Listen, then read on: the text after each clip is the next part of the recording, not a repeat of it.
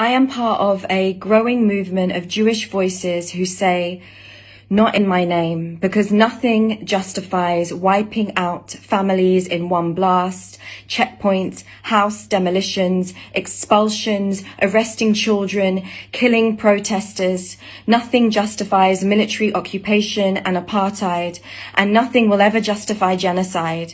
And as Jews, we do not say this word lightly. We know what happens when people stay silent and they don't speak out. My grandparents, they were Holocaust survivors and my parents were forced out of Poland in 68. I'm sensitive to my history of persecution and suffering. And I know what anti-Semitism is and it will never be demanding equal rights and justice for Palestinians. It is not complicated. It is common sense. It's common humanity. This is not about Jews, but the Israeli state.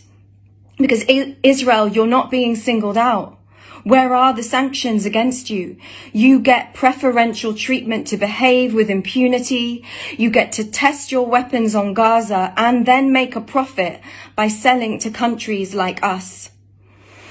Shame on you, Israel, and shame on you, England, for supporting an openly racist and fascist government who are now weaponizing